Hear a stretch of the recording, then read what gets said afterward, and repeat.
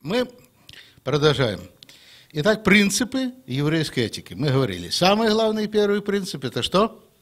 Люби Бога в человеке, которого Он создал. Второй принцип – не умножай зла. Не умножать зла, значит что? На зло отвечать любовью, на проклятие благословениями. Да? Э, я потом объясню, что такое зло. Давайте еще третий принцип сразу запишем. Это принцип э, уважения. Уважения личности другого. Мы должны уважать личность другого и его свободу воли человека так же, как Бог уважает. Дьявол, он не уважает личность человека, и он не уважает свободу этого человека. Правда? Принцип уважения очень хорошо сформулировал Гилель. Это, говорят, иудаизм на одной ноге. Слышали, может быть? Были два учителя, Шамай и Гилей. Шамай был э, архитектор, ходил с такой большой линейкой, вот, и что он там ученикам линейкой бил по рукам. И вот подходит к нему один такой провокатор и говорит, я хочу принять иудаизм, но ты меня должен научить всему иудаизму, пока я стою на одной ноге. Ну, Шамай схватился за линейку, начал на него кричать. Я, говорит, всю жизнь иудаизм учу и еще не выучил его. Как ты такого от меня хочешь? Он посмеялся, посмеялся, подходит к Гилелю. Он говорит, хорошо, становись на одну ногу. Ну, вот выучить иудаизм, пока стоишь на одной ноге, да? Это несколько секунд. Не делай другому то, что тебе ненавистно. Все, говорит. А дальше остальное все комментарий. А теперь иди и учись. Просто, да? Вот это очень хороший этический принцип Гилеля. Не делай другому то, что тебе ненавистно. И это принцип уважения, да, уважения к достоинству человека. Ну, вы знаете, я уже говорил, что этот принцип тоже в воздухе витал, и даже Конфуций об этом говорил, да, только он добавлял, что нужно сделать. Это полезно для государства, а это полезно тебе и выгодно для государства. Это выгодно тебе и полезно для государства. Но, как вы думаете, это активный или пассивный принцип? Это пассивный принцип, да? Да. Вы знаете, что ни одна война одними э, оборонительными мероприятиями не выигрывались, да? Если даже врага истощали оборонительными мероприятиями, все равно потом переходили в наступление. Как же переходить в наступление? Ишуа сказал, что? Поступай. Мы будем говорить, да, делай, поступай. Чем отличается поступок от простого дела? Поступай с другими так, как ты хотел бы, чтобы что? поступали с тобой. Итак, первый принцип – это любовь. Люби Бога в человеке, которого Он создал. Второй принцип – да, не умножай зла. Третий принцип – поступай с другими так, ты хотел бы, чтобы поступили с тобой. Это принцип уважения, достоинства личности. А теперь разберемся, что такое зло и откуда оно взялось. Как вы думаете, Бог сотворил зло? Некоторые говорят, если Бог добрый, почему в мире существует зло, да? Вы знаете, что Бог зла не творил. Бог сказал, да будет свет. Но где-нибудь сказано, что Бог сотворил э, тьму? Да, тьма была первоначальным состоянием материи. То есть, смотрите, он отделил свет от тьмы. Да? Но не сказано. А, Мавдиль отделил, отделение, Амавдиль. Это одна из молитв, Авдала называется. Это в субботу как раз, отделение святого от будничего. То есть Бог не создавал зла, Бог не создавал тьмы. Да? Но Бог что? Отделил свет от тьмы. А кто же отделил добро от зла? Ну, наверное, первый, кто это сделал, был Сатан, да? А потом сделал тоже с человеком, да? Правда? То есть, что такое зло? Это недостаток добра. Да? Тьма – это отсутствие света. Что такое холод? Это недостаток тепла, да? Недостаток тепла, вы знаете, законы термодинамики и так далее. То есть э, Бог вот везде существует, да? Он вездесущ. Если мы скажем, что в аду нет Бога, это будет правильно или нет? Но ад, это мы, помните, говорили, это место просто отделения от Бога, да? То есть когда-нибудь Бог весь мир и всех людей разделит тоже на место, где он, человек будет пребывать рядом с Богом, да? И место, где Бог есть, но его очень мало, да? Вот поэтому я думаю, что в аду таки холодно и темно. А когда говорится об огне поедающем, скорее говорится о таких огненных страданиях внутри человеческого духа. То есть ад – место, где мало Бога. Инициатор добра и зла был Сатан. И причиной этого, помните, то, что Сатан имеет свободный, свободу воли, да? Причина это свобода воли. Причина того, что человек согрешает или будет праведником, что является? Свободный выбор, да? Бог говорит, я тебе дал одно и другое. Избери одно или избери другое. Правда? То есть не будет Бог говорить, что вот так делай, почему Бог допустил. Почему Бог допустил, что погибло столько евреев во время войны? Почему Бог допустил вообще, чтобы в 20 веке такие вещи творились? Вот. Это самый был лучший из худших вариантов. То, что сделал Бог. Бог, если бы, допустим, Бог убил Гитлера, Сталин бы совершил бы вещи еще более хуже. Удивительно, что Бог вместо одного антихриста дал сразу двух антихристов. Они просто убили друг друга. Правда? Удивительно. Волки от испуга, знаете, результат Второй мировой войны. Волки от испуга скушали друг друга, а слониха вся дрожа, так и села на ежа. Волки – это, естественно, Гитлер и Сталин. Слониха – это Британская империя. И села она интимным своим местом на маленькое государство Израиль.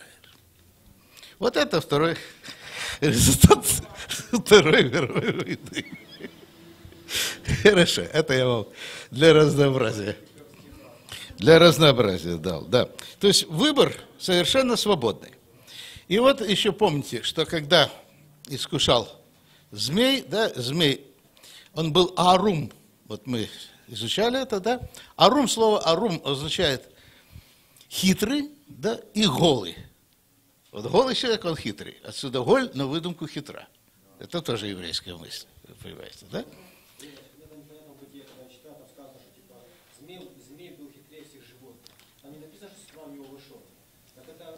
Э, значит, нахаш, нахаш означает нашептывающий еще, не только змей, а нашептывающий, колдующий означает.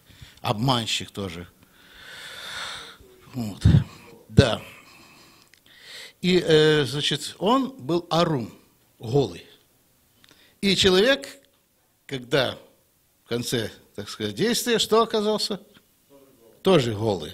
Видите? Он получил природу, Арум был змей, и Арум стал человек. Он получил природу такую зла. Да, и вот видите, произошло расщепление. Расщепление шиза или схизма, да? Шиза э, там, где шипящий в тех языках, в тех языках, где нет шипящие, говорят схизма, поэтому вот э, раскол церкви, помните, схизматы были и так далее в истории. И получилось, что человек заболел шизофренией. В чем проявляется эта шизофрения? Возьмите седьмая глава послания к римлянам, да? Есть во мне нечто борющееся. Я хочу делать хорошее, а что получается? Как всегда, да? Хотели сделать хорошо, а получилось как всегда. Делаю плохое. Вот стремлюсь я что-то делать, но чтобы сделать, оно не нахожу. То есть до конца добрые дела не довожу. А если делаю, то получается еще хуже, как если бы я не делал, да? Почему? Потому что во мне какая-то порча происходит. И вы понимаете, что все шизофрения, да, это френос психика, все люди, абсолютно все шизофреники. Я вам как психиатр заявляю, что нет ни одного анализа, ни одного теста, который может определить шизофреника от нормального человека, чем и пользовалась наша советская психиатрия в свое время. Тут вопрос не количественный, э, не качественный, а количественный. Понимаете? Если мы уже видим, что поведение этого человека выходит за рамки обычных, да, ну, думаем о психической болезни. Ну, мы все шизофреники, да. Одни сидим психбольницы, другие ждут своей очереди. Правда, это важная, очень серьезная такая болезнь. Вот. И если хотите знать, вот некоторые говорят, ну мы же верующие, мы уже исцелились от этой шизофрении. Но вопрос, а исцелились ли мы? Когда у нас часто возникают опять те же самые рецидивы. Хочу делать хорошее, а что получается? Да, а получается плохое. То есть есть, опять-таки, исцеление, человек выпивает лекарство, но когда он делает это, что, он сразу исцеляется? Значит, он должен еще помогать действию своего лекарства. Да, как врачи говорят, есть ты и болезнь. Если ты поможешь своей болезни, то ты что? Будешь болеть. Если ты поможешь врачу, то ты что? Выздоровеешь, правда? То есть в зависимости, это принцип синергии. Синергия. Греческая сина, син совместно. Отсюда и синагога, кстати, дом совместного собрания. Итак, видите, есть дьявол, я и Бог. С кем я, да? Есть грех, я и Бог. С кем я? Принцип синергизма.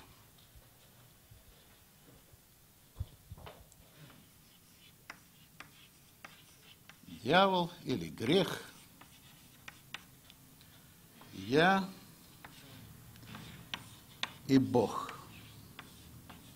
Помните, такой был Буриданов осел, который осел настолько был, что не знал, какую морковку скушать. И умер с голоду, потому что ни туда, ни сюда не мог прийти. Ну, так вот некоторые верующие бывают, правда? Их шатают то сюда, то туда. Если человек с дьяволом жив, и это говорят о делах, которые он делает как? Дела плоти, да? Либо человек, э, Бог. Если человек с Богом, то это дела духа, да? Потому что он живет по духу. Это мы все видим.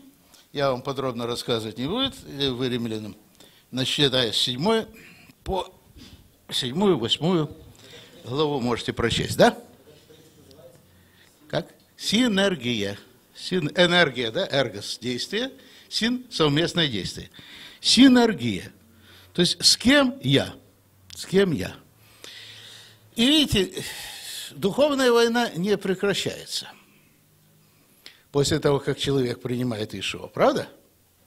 Даже зачастую бывает эта духовная война на что? Обостряется. Почему? Потому что вылечить болезнь иногда нужно вызвать ее обострение. Ну вот, э, гонорея хроническая, например, да? Знаете, это венерическое заболевание, связано с поражением гонококом э, мочевых путей, да, половые и мочевые пути. И э, если она вяло текущая, лечение никакое не помогает. Что делают? Заставляют человека выпить побольше пива. Происходит что? Провокация. Болезнь обостряется, да? И что при этом происходит? При этом тогда лечение, антибиотики начинают действовать, да? Хроническую болезнь исцелить невозможно, но болезнь обостряется. И поэтому мы видим зачастую, что вот эта духовная война внутри человека, да, она после того, как человек принимает Иешуа, она становится меньше – Наоборот, обостряется, обостряется. И серьезно обостряется. И это мы реально видим. Видите, помните, мы говорили слово «милхама». «Милхама» – это война. «Ме» – мы знаем это что? Да, мы берем вот «милхама», мы берем только согласные. «Ме» – это образующая приставка. А какой корень? А это окончание, да? Милхама. Значит, М – это приставка, корень Л, Х, М. Лехем. То есть, оказывается, война, по иврите, она за что идет? За хлеб. И не просто за хлеб, а мы говорим лехаим. За жизнь, да? Лехаим, к жизни. Лехаим, к жизни. И есть очень хорошая равмистическая трактовка. Э, кстати, вы знаете, что тот, кто Василий Иванович Петьку играл? Да, тут, что Петьку играл он Юрий, артист. Да. Вот э, когда молодой хасид Петька спрашивает у Рэба Василия Ивановича, Рэбе говорит, вот люди воюют, и жизни своей не щадят. Ну за что же они в конце концов борются? За жизнь, Петька, за жизнь, говорит Рэбе Василий Иванович, да? Каждому хорошей жизни хочется. А видите, еврейские слова, они имеют очень глубокий смысл. И э, Милхама – это не просто военно-духовное. Происходит, как вот мы начинаем некоторые верующие гонять бесов, да? Ну, я не буду сейчас говорить о духовной подоплеке этого. А духовная война не в том проявляется, что мы гоняем бесов. Не, когда надо, мы гоняем, это не проблема. Вы понимаете, бесам не нужно доказывать, что они побеждены. Они это прекрасно знают. Дьявол всю теологию лучше любого теолога знает. И я как убедился, изучая в последнее время, что многие теологи напрямую писали свои выкладки под диктовку дьявола. Да. Но главная война, это которая происходит внутри нас. Вот это главная милхама. Главная милхама. Вот запишите очень хорошее стихотворение. Там в одной книге я нашел. Да, я вам продиктую. Бой с самим собой есть самый трудный бой. Победа из побед, победа над собой. Хорошо? Хотите записать? Бой с самим собой, тире, бой с самим собой, бой с самим собой. Так, следующая строчка. Есть самый трудный бой, точка. Бой с самим собой, тире, есть самый трудный бой. Да. Следующая строчка. Победа из побед, тире, победа над собой.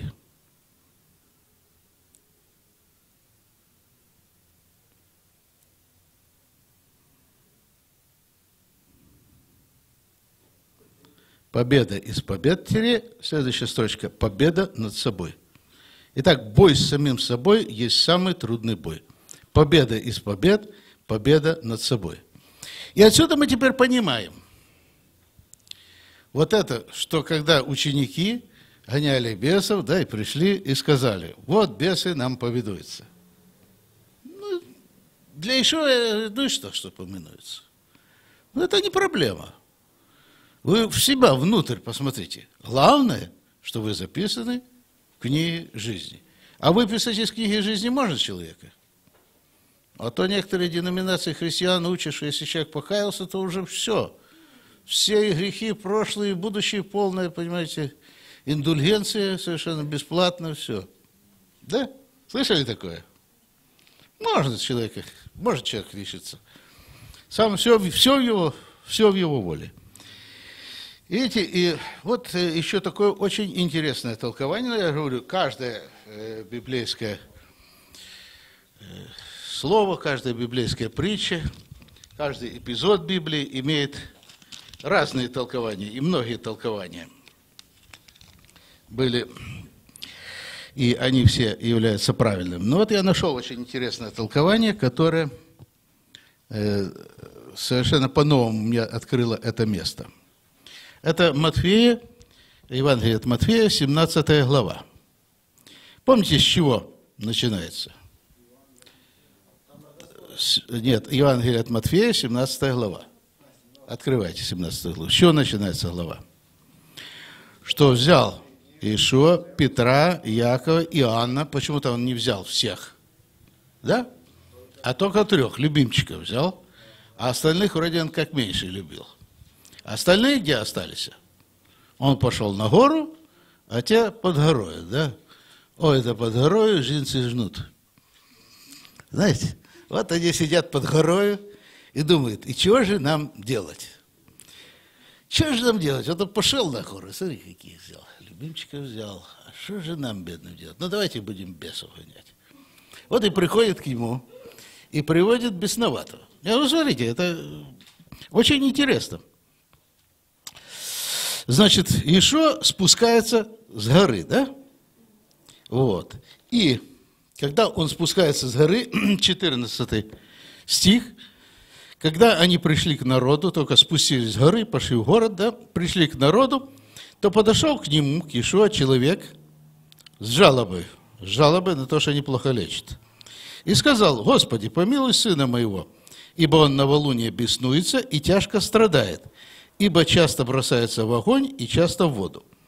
Я приводил его к ученикам твоим, и они не могли исцелить его. Иисус же отвечал и сказал, «О, род неверный и развращенный, доколе я буду с вами, доколе буду терпеть вас». Ну, дальше, приведите его ко мне сюда. Это, значит, э, восклицание Ишуа, род неверный и развращенный, доколе я буду с вами, и доколе буду вас терпеть. Да? Сильное такое заявление. Кому он говорит это?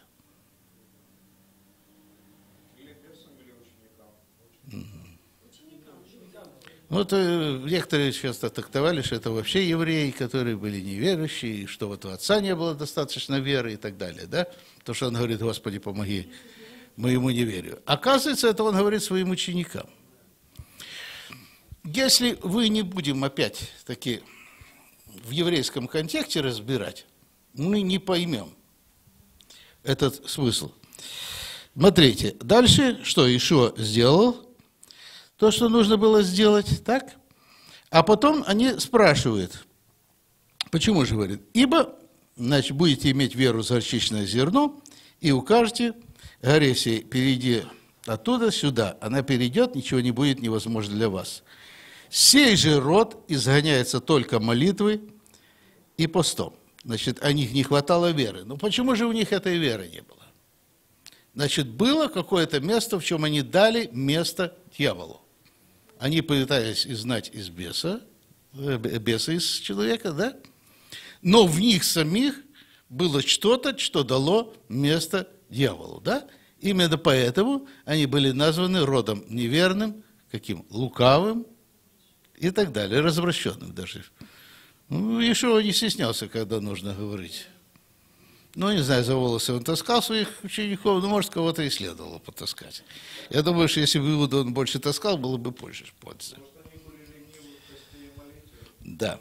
Но видите, ага, а как же пост будет? На еврейский. Таанит. Дело не просто в посте. Есть цом пост, и есть еще слово таанит. Таанит – это смирение – да, вот так.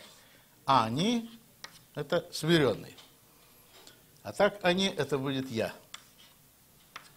Отличается я от смиренного одной буквы, да? Это очень интересно, видите.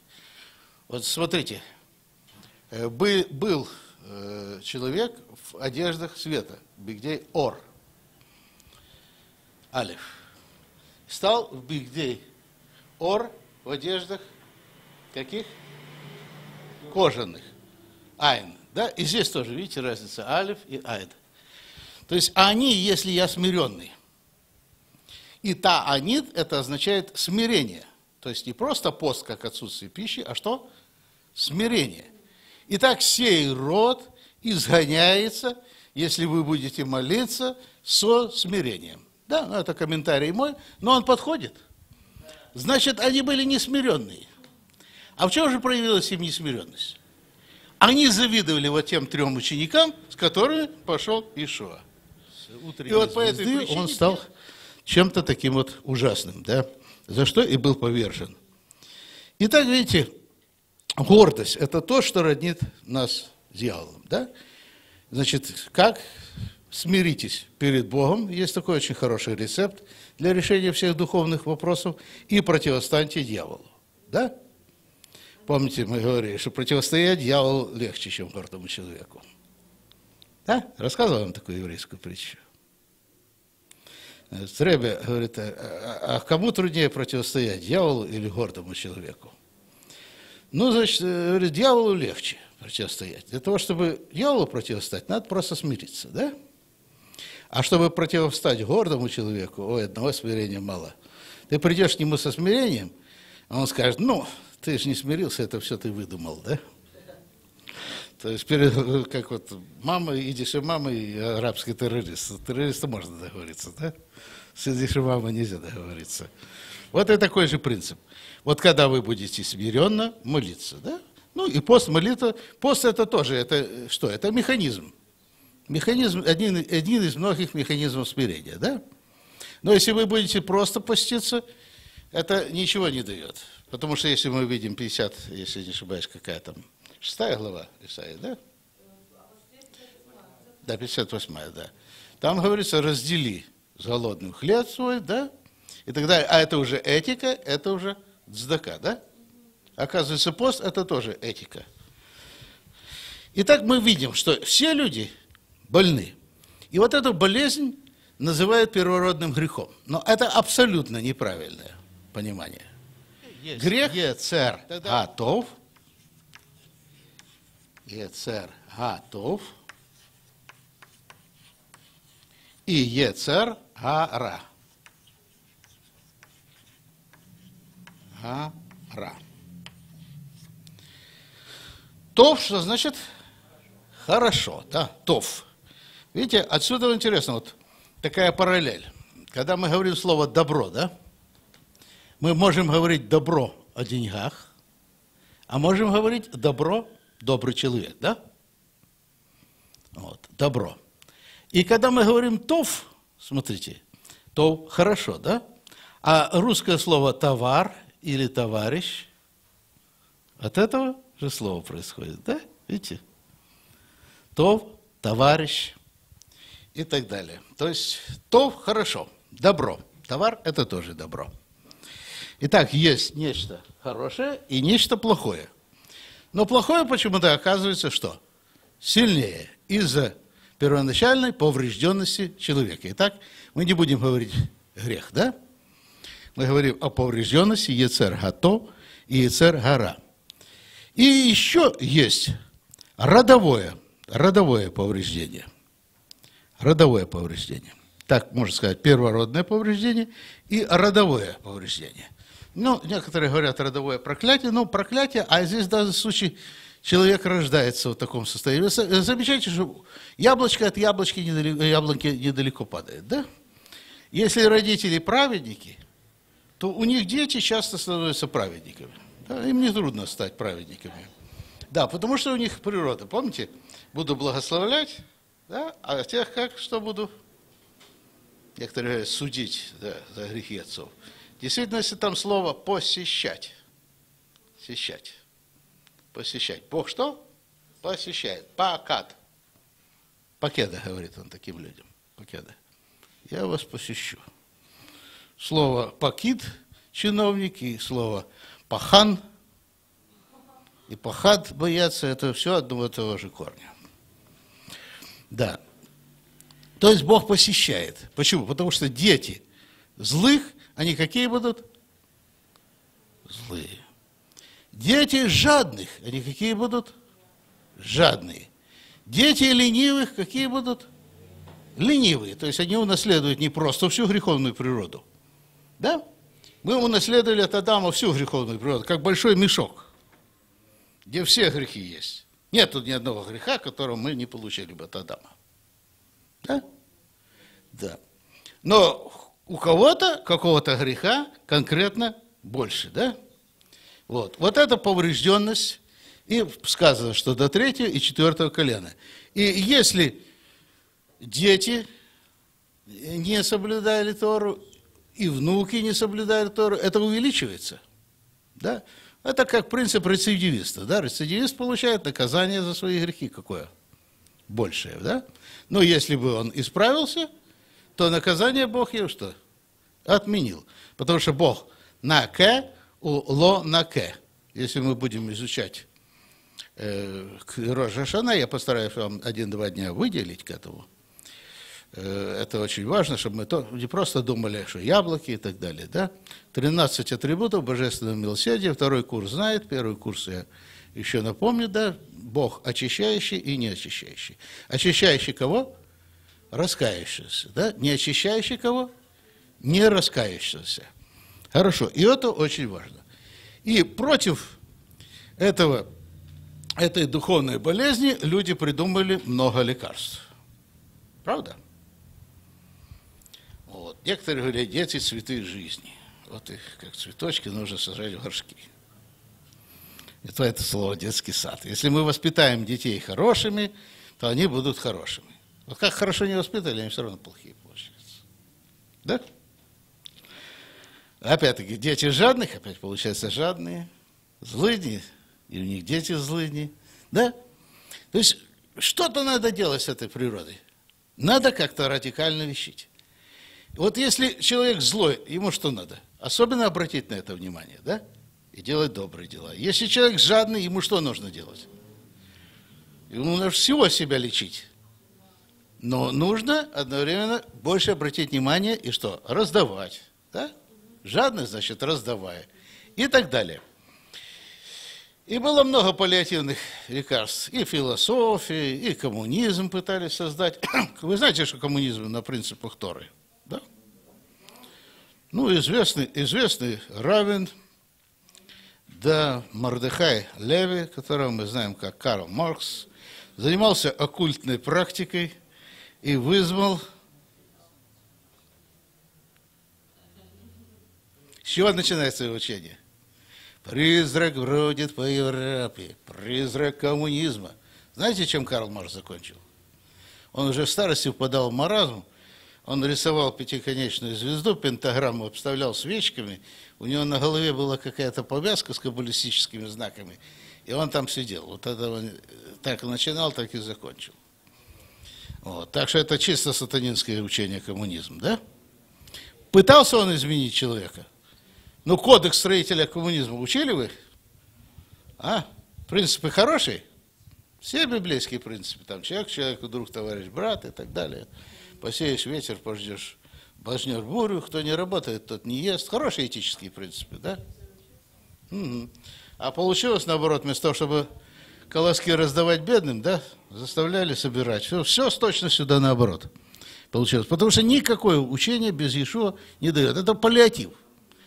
Вот, когда я служил в Николаеве в Чепке, слава богу, я немного служил, но там был у нас фельдшер, приходит матрос, спрашивает, что тебя болит? Да вот, говорит доктор, голова болит и живот. Он берет, значит, таблетку аспирина, разломал, это тебе от головы половину, а, вторую, а это тебе от живота.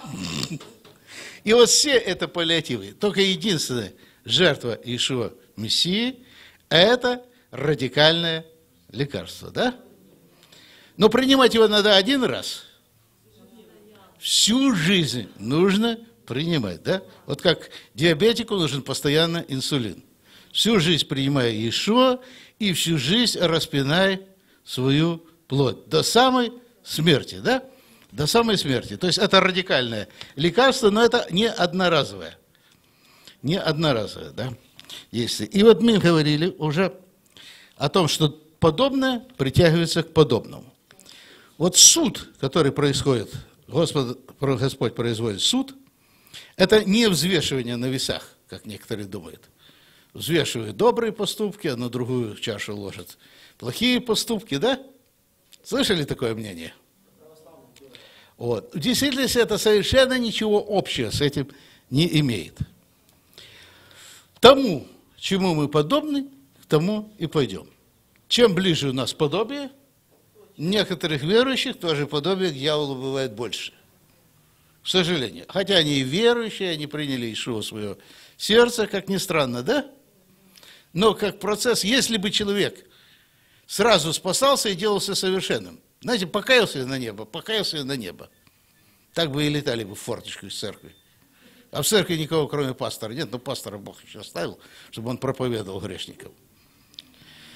Да, такого мы не видим. Поэтому верующий может а, в ад попасть с такой же, как говорится, как и неверующий. Все зависит от него. Если мы будем подобны Ишо, мы будем с ним, да? Если мы будем подобны сатану, куда попадем? Да? Дети света и дети тьмы. Оказывается, когда и Иоанн, и Петр об этом все говорили, так они это видели в своей церкви. Еще в первом веке. И сейчас, вы думаете, церковь лучше стала? Хуже. Те, что были грешники той церкви, они ведут себя, наверное, как самые лучшие праведники нашей церкви. Да? Или себя. А люди хуже становятся. Никак не становятся лучше. И вот, видите, значит, суд – это просто тот, кто имеет какую-то природу, имеет света, он идет в свет. Имеет он тьму, что? Он идет в тьму. Помните, когда э, приходил Ишуа, и там был бесноватый или два бесновата, но про второго что-то молчат, значит, э, и у него был легион бесов, да? Ну, много, короче, этих бесов было. И выскочил, он закричал, не мучь меня. А что Ишуа хоть что-то этим бесом делал? То сам выскочил, побежал. Говорит, не мучь меня, да? Значит, одно присутствие Ишуа было для него мучительно. И потом бесы просили не отправлять их в ад. А куда отправили? Свиней, да? Свиней. Ну так вот, видите, ущерб был свиноводческому хозяйству был нанесен этого региона. Кстати, вы знаете, как свиней выращивают в Израиле? Выращивают, и евреи тоже едят свинину, что они не люди. Но сказано, что на земле есть закон, на земле Израиля свинин, свиней нельзя выращивать. Они делают помост, и там тогда ставят, чтобы не на земле. Ну, всегда люди обходят определенные законы. Но те бесы, даже будучи в свиньях, они не могли присутствие Божье терпеть. И куда они бросились? В море, да? И утонули. То есть, видите, я еще раз говорю, что то, что вот есть ад, это даже может быть и милость. По крайней мере, есть такая трактовка. Видите, Божье присутствие настолько страшно, что бесы убежали в преисподнюю. И мы можем сделать рай и ад в своем доме, в своей семье, своей организации, в своей церкви. Запросто. Все зависит только от нас. Вот э, один из отцов церкви, это из православной литературы взял, Исаак Сирин, говорил так. Мученые в гиене поражаются бичом божественной любви. Удивительно. Мучимые в гиене поражаются бичом божественной любви. Но это комментарий. Воспринимайте это как мидраж. Да, есть еврейские, христианские мидраши. Почему же? И как горько и жестоко это мучение любви – Ибо ощутившие, что погрешили они против любви, терпят мучения, вящие всякого приводящего страх мучения. Печаль, поражающая сердце, за грех против любви, язвительнее всякого возможного наказания. Да? Но почему же из ада не переходят в рай? Да, когда будет осуществлен суд, будет существовать ад и рай – и ад – это тоже есть проявление милости Божьей. Да? Я не знаю, что такое ад, но, наверное, что-то как очень страшный, кошмарный сон, от которого нельзя проснуться. Правда? А может, еще хуже. Это не то, что там сидят, кого-то поджаривают и так далее. Дверь, она открыта. Просто люди из ада в рай сами не могут перейти. Потому что они не могут изменить свою натуру. Если уже на этом свете мы не изменили эту натуру, то что же потом? Оказывается, вот есть такое положение, это тоже комментарий, может каждый воспринимать по-своему, но когда человек умирает, он как бы лишается вот этой свободной воли. То есть он не лишается способности совершать поступки. Но как безвольный человек, говорят. Вот типичный пример безвольного человека – это алкоголик. Да? он совершенно честно признается, что с завтрашнего дня он начнет новую жизнь. Вот как только протрезвеет, так сразу и начнет. Правда? И что у него получается? Все то же самое, потому что он безвольный человек.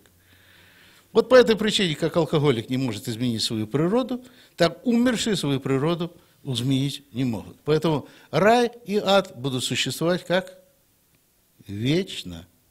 Что такое вечность, мы поговорим, когда мы будем говорить о смерти. Э, один из э, отцов церкви, Иоанн Дамаскин, так писал. Бог и дьяволу всегда предоставляет благо, но тот не хочет принять. Скажите, дьявол может покаяться и перейти в рай?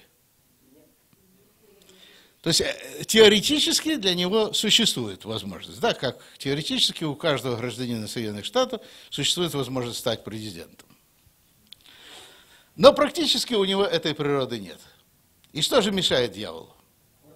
А, если Бог, видите, Бог, я, я тоже только этим летом узнал, и для меня это был таким шоком. Ну, понимаете, ну, одно дело, когда теоретически понимаешь, а другое дело, когда это входит в твое сердце. Но Бог, Он абсолютно праведник. Абсолютная праведность, да? Вот. Бог, Он абсолютная любовь. А оказывается, Бог – абсолютное смирение. Знаете, какого Бога абсолютное смирение Он нас вот тут терпит на этой земле? Посмотрите у каждого из нас, да? Внутрь каждого из нас. Он нас терпит, у него абсолютное смирение. И вот качество Бога – абсолютное смирение. И если было грех отделен от праведности, и смирение было отделено от гордости, у кого можно сказать абсолютная гордость? у дьявола, сатана, да? Если бы он принял Иешуа, но для этого ему что надо стать? Смиренным. Он это не может по определению. Мы пока на этом свете, мы что можем? Мы можем это сделать. Это величайшее, это величайшее для нас дар, вот эта возможность сделать это. Но дьявол никогда не сможет. И если человек попадает туда, может он изменить свою природу? Тоже уже не может, потому что его свободная воля уже становится нулевой. Еще интересно, что такое разница между кротостью и смирением? Я тоже не знал, пока не размышлял. Две недели назад где-то тоже мне в голове замкнуло. У меня сейчас короткое замыкание, это фильм «Короткое замыкание», знаете, у робота. Вот у меня сейчас последний месяц постоянно замыкает в голове. Так вот, видите, кротость и смирение – это вроде бы как бы синонимы, да? Но, с другой стороны, это совершенно разные вещи. Кроткий человек – это что? Послушный человек, да? Который выполняет все, что ему говорят. И когда говорят о Моисее, он назван каким? Кратчайшим человеком, да? Но кротость – это внешнее проявление смирения. Можете записать, да? Чем отличается кротость от смирения? Кротость – это внешнее проявление смирения. Это опять-таки разница, мы говорим, этика, которая внешняя, как нас поведение, да, и как внутренняя этика. Итак, кротость – это внешнее проявление смирения. И сказано про Моисея, что он кратчайший человек. И в один раз в жизни он не проявил смирения. И кротость его полетела, да? Когда, помните, когда он два раза ударил – и начал ругать Израиль и так далее. И поэтому Моисей назван кратчайшим, но не назван смиреннейшим. И только, видите, про одного единственное сказано, я кроток и смирен сердцем. Только Иешуа был абсолютно смиренным. И сейчас, конечно, есть, потому что есть Бог, есть абсолютное смирение. Когда я это понял, знаете, меня, ну, я не знаю, что я сначала начал плакать на колени, упал, потом я начал плясать, кричать. В общем, наверное, подумали, что я сошел с ума. Потом я успокоился и постарался это записать. Хорошо. Итак, видите, у Ишуа абсолютное смирение. Итак, наша задача – вырабатывать характер Ишуа и смирение. Помните, я вам говорил еще притчу о ракете – когда ракету запускает космос, не считает 1, 2, 3, 4, 5, да? Ну, это из тех притчей, типа, чему мы можем научиться у поезда, да, у телефона и так далее. Ракета считает с 10. И когда доходит до чего? До нуля, ракета взлетает вверх, да? Вот когда наше смирение доходит до нуля, тогда Бог нас возносит в свое присутствие. Хорошо, перерыв.